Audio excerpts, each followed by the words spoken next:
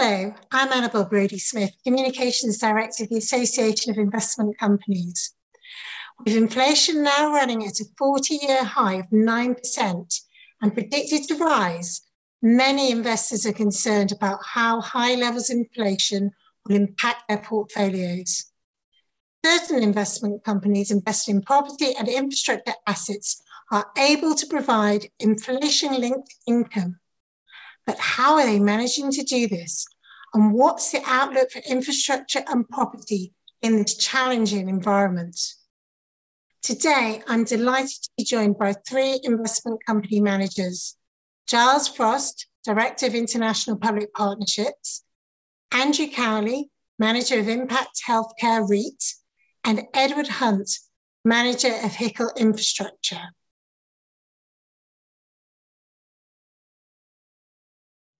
Right, on to the questions. How is your company well positioned to protect investors' returns from inflation? And I'm going to ask that question to Giles. Thanks, Annabel. Um, how we how we position to protect investors from inflation? Well, I think the simple answer is we've been doing it for the last um, 15 years. Um, our dividends have grown by two and a half percent per annum, which exceeds inflation over the last 15 years. But of course, the future is a different thing from the past. So um, the reason why we're confident about inflation protection in our assets is because of the nature of those assets. We invest in public infrastructure, so these are the essential assets of communities, schools, health centres, courthouses train services, and so on. And the reason we're confident about inflation is because the revenues we receive are generally inflation linked. It's not a perfect match, but around about 70% of our, of our revenues are inflation linked, such that for every 1% increase in inflation, we expect around about a 0.7% increase in our returns. Thanks very much, Charles. That's really clear. Andrew, how is your company well positioned to protect investors' returns from inflation? Well, we hope we're well positioned. We're going to find out in the next, next year or two. Um, so when we set the business up five years ago, we, we thought there are two important principles we wanted to have in all our leases. So first is long term. Typically, we're putting new leases in place of 25 to 30 years with no break clauses. And second, inflation linkage. So 100% of our leases today are inflation linked. But coming back to something Giles just mentioned, I think it's also very important. You can put anything you like in a lease or a legal agreement, but will it will it actually work in reality? And our, our tenants are providing an essential social infrastructure, and they demonstrated over the last 20 years that they have a lot of pricing power in an inflation environment, which we're now in. Excellent, Andrew. Sounds like you were planning well there in advance for an inflationary environment. Um, Ed, how is your company well positioned to protect investors from inflation? Uh, yeah, it's a good point, and I'd, um, I'd, I'd echo a point that Giles made at the start, which is that uh, when it comes to inflation correlation, not all infrastructure assets are, are created equal. So it does really require an active approach to, to portfolio construction uh, and to achieve that uh, that inflation protection for for investors. So for HICL, uh, inflation protection is one of the key four metrics that we target when putting together this diverse portfolio of essential infrastructure uh, together. Um, and in particular, when we make new acquisitions and disposals, what are, what are the key metrics that we're looking at? Inflation's a, a key one of those. So the four key metrics being return, yield, inflation correlation, and weighted average asset life. Um, now, HICL has an overall portfolio correlation of, of 0.8. Uh, this is strong relative to the peer group. And it means that if inflation was 1% higher in all, all future periods, then the return that investors could expect from HICL would increase by uh, 0.8% or, or 80 basis points, all, all other things being, being equal. Uh, now, Kieran, given current market conditions, uh, I'm sure investors are also keen to understand what more severe shorter term scenarios look like. So we've uh, we've provided some of those sensitivities in our in our recent results. They're available on the website. But to take an example, if if inflation was three percent higher than our assumption uh, for three years, then investors could expect that net asset value of the company to increase by by ten basis uh, by ten uh, pence rather. Thanks very much, Ed. Well, very important in this current high inflation environment. It's quite reassuring for investors to hear from you. next question to Ed and Giles. Ed, what types of infrastructure are you investing in and how do you go about it? Uh, so I start by saying that we're a core infrastructure investor. It is important to reiterate that given the broadening of the infrastructure sector that's occurred over over time, uh, and what we're looking to invest in is essential assets, real assets uh, that deliver resilient cash flows from a protected market position. Um, and to assess this, we do have a, a, an evaluation framework that we use, and we, we look across a number of key characteristics, but principally those are cash flow quality, uh, market position, how defensive is the business, um, and also how essential or critical that asset is to, to the broader, uh, broader community. And we use this to screen assets, guide our due diligence, um, etc. Fundamentally, though, we also believe in diversification and putting together assets right across the core infrastructure landscape, um, across different sectors, across different revenue types, across different geographies, and put together these complementary risk characteristics to create more uh, robust and, and resilient cash flows that ultimately flows through to, uh, to the dividend to investors. So across our portfolio uh, to date, this has included investments in, in social infrastructure, so things like health, education, uh, blue light, uh, as well as transportation assets, utilities, uh, and communications infrastructure as well. Thanks very much, Ed. And I'd like to ask Giles the same question. What types of infrastructure are you investing in, Giles, and how are you going about it? Well, this this Q and A is about inflation, but but the starting point for any discussion on revenues or assets is is how confident you are you're going to get paid in the first place. Because you can have all inflation linkage you want, but if you're not paid in the first place and you're not dealing with credit worthy counterparties, you're in trouble from the get go. So our assets um, are all um, either contractually or through legal regulatory frameworks linked to governments. So governments either pay us directly um, or they, they pay us or we're paid under a regulatory regime set up and managed by, by governments and with a force of law behind it. So that's, that's one thing. We don't want to take private sector credit. Second thing is we want to be paid broadly so we're not taking risk around how much use an asset is made of. So so um, we we invest in lots of education facilities for instance but we can't really influence how many kids go to school or, or, or things like that. So we want to be paid according to the availability of the asset, not how much not how much use is made of it. So we don't inv- invest in toll roads, for instance, because we see that as having a different risk characteristic because the revenues there depend on how many people use the road. So the government backing is important. The, the way we're paid is important and the countries we work in are important. So we don't want to take undue political risk. We only want to invest in higher tier confident countries we're confident in, which means for us, the UK, um, Northwestern Europe, uh, Australia, uh, the US, Canada, countries like that. So that's our that's our key uh, focus. Uh, that's our filter, I suppose, in terms of how we choose our assets. And then we have many, many aspects of our business which are in common with, with, with Ed at HICL.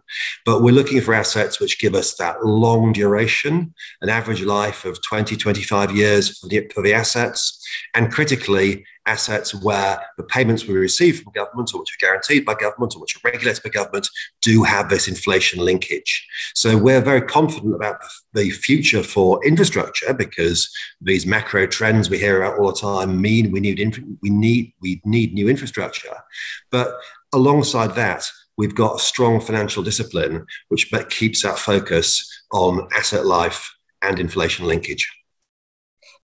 Thank you, Giles.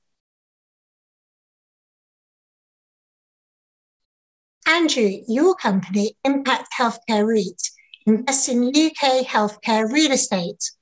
What kind of assets are they? Well, UK healthcare is a very big space. It's, it's depending how you measure it, it's between 10 and 12% of UK GDP. And I think we've all learned during the um, pandemic that there are limits to what healthcare can be, what kinds of healthcare can be successfully delivered online via an iPad. Well, it's great some things work very well, but when you really need care, particularly long term, long term care, you need to be in a building where that care can be delivered successfully. So within UK healthcare, we decided to focus on elderly care for, for three reasons. So the first, most basic, supply and demand. It's the long-term secular trend. We are all aging. As a society, we are aging. So we know demand, what our tenants does, is going to grow. Um, the second is the market we're investing in is extremely fragmented. Um, which we think create, creates a very interesting investment dynamic. Because um, unlike Edward and Giles, who uh, have a lot of reinvestment risk, you can only buy one water company in one town, or you know, most cities only have one or two airports. There are a lot of assets we can buy, um, and that creates opportunity for us to acquire things on what we think of can be very attractive terms. We own at the moment 1.5% of UK's fragmented elderly care market. So we know we can grow creatively without bidding against ourselves. And then the final thing is that um, it's been a market that also has problems and has had, has had problems in the last 20 years. The two biggest care providers, Four Seasons and Southern Cross, went bust. And one of the issues there, we think, is they were, I don't want to criticize the owners of those, of those companies, but they were overgeared, had too much debt, and their capital was too short term. So our sector, the one we're investing, is crying out for long term permanent capital. Um, and we think we can deliver better outcomes for everyone. Our shareholders primarily, as obviously we're capitalists at heart, but our tenants and the people who live in the homes.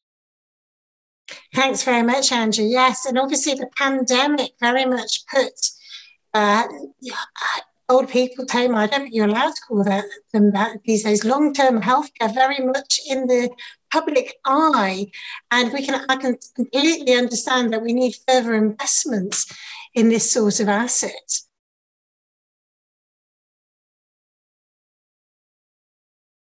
Next question.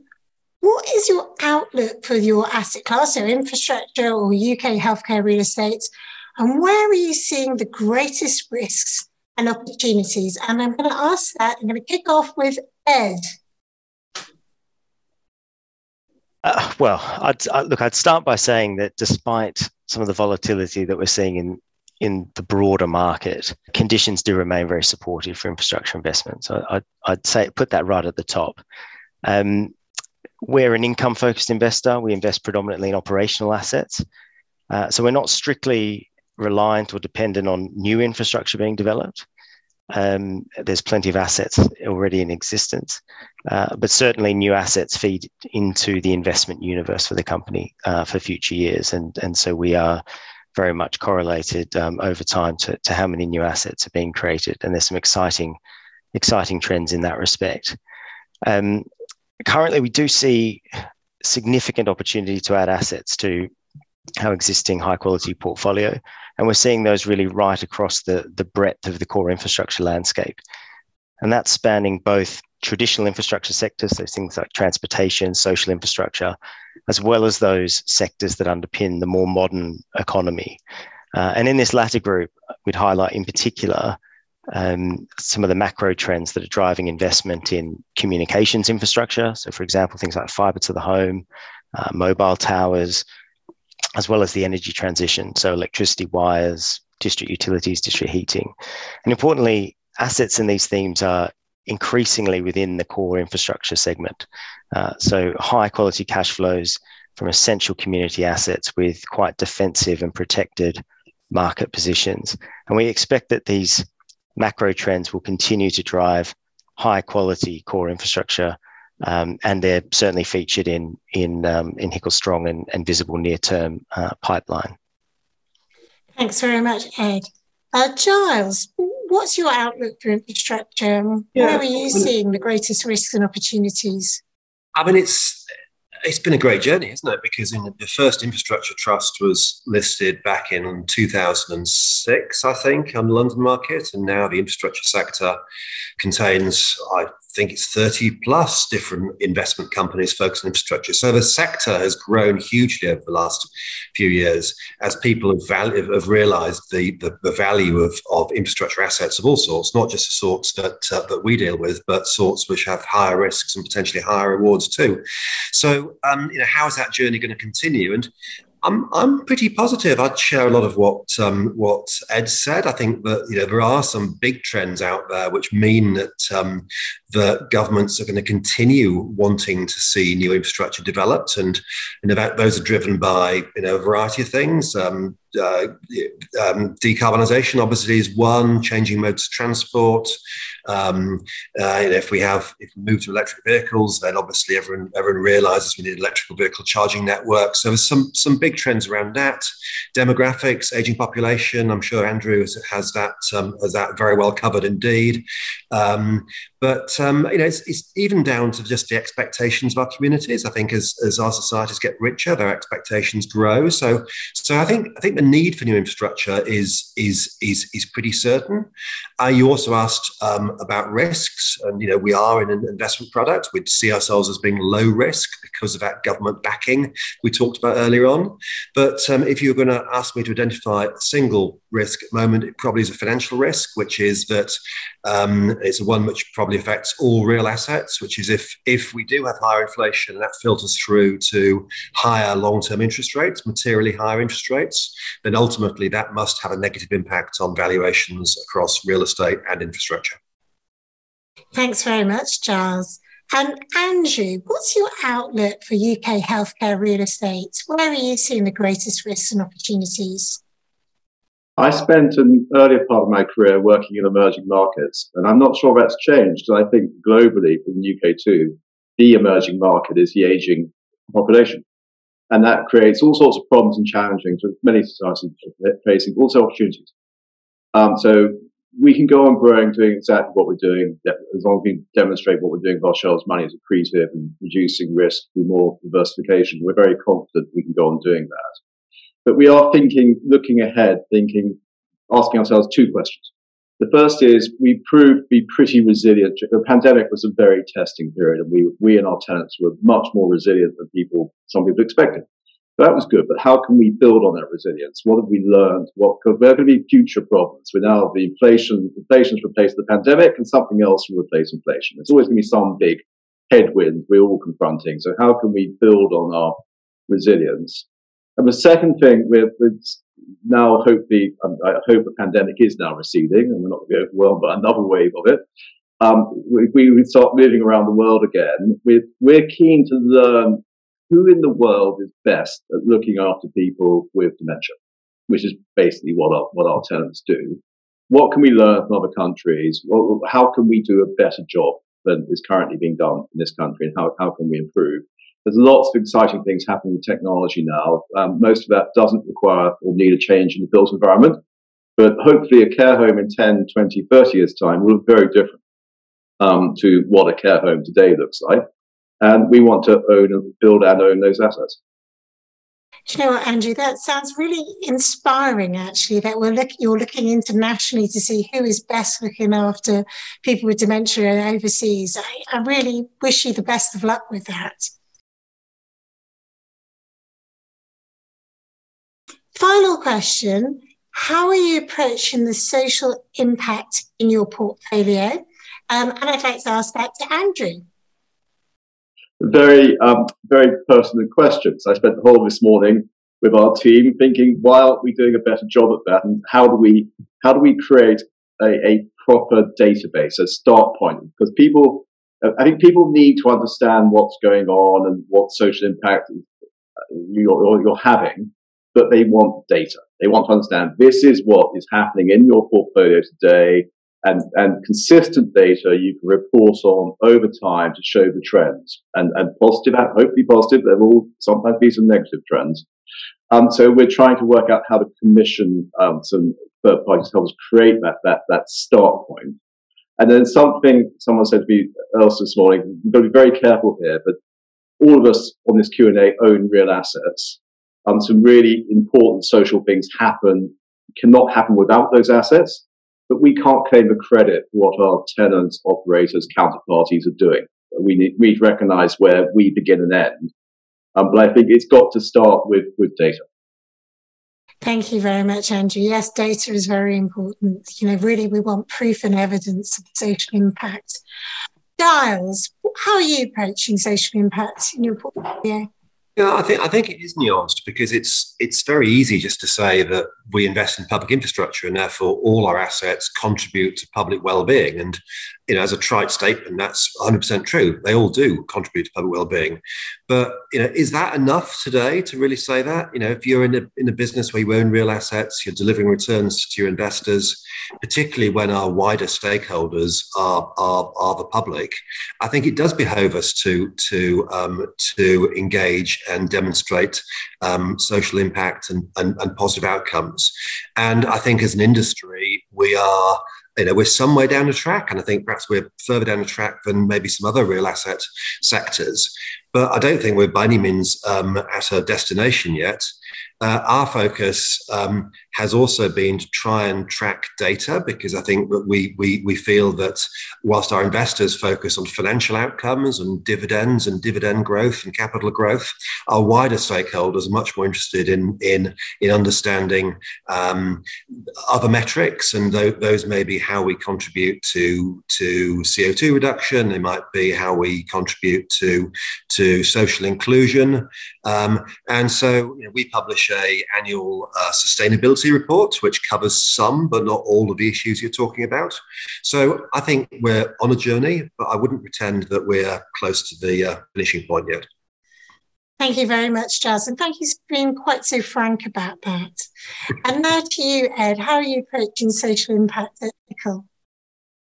Well, I, I, think it's important to to recognise that with with infrastructure assets in particular, um, they sit really at on the cusp of public and private. There's an inherent um, uh, inherent interaction with the stakeholder groups that is is very real and and day to day, and therefore I, I, philosophically we do really believe that the long term outcomes for shareholders are very closely intertwined with the outcomes for the for the stakeholders in the community. And the, the moment you lose that the realization of that connection, you're, you're going to run into problems.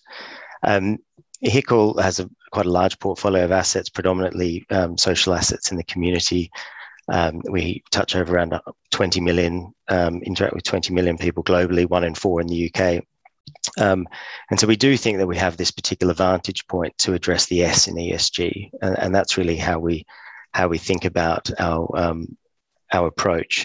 Now, um, I completely agree um, with, with, Andrew and Giles' comments that the the inherent positioning as a social product is is good and and great, but it's not it's not where the game's going to going to be played. Um, people expect more than just the the fact that you um, are associated with essential assets when they're evaluating your your ESG credentials and performance.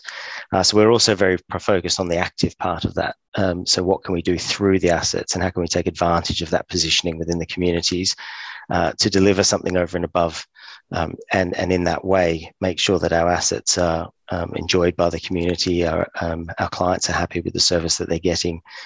Um, and I think that's a that's a key key component for for also where the shareholders are ultimately going to have um, the returns and income that they expect from the assets over a very long period of time, which is what uh, what HICL seeks to do. So it is it is quite nuanced in, in getting that balance right.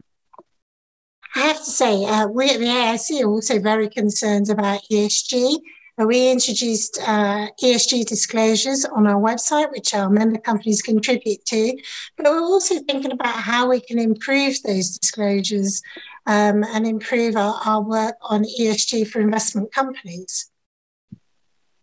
I'd like to thank our managers very much for joining us today. It's been very interesting to hear how their investment companies can protect investors' returns from inflation. I'd like to emphasize that we don't know what's going to happen in the future. Investment is for the long term, and it's important to have a well balanced portfolio. If you're in any doubt, you should talk to a financial advisor. Thank you so much for watching.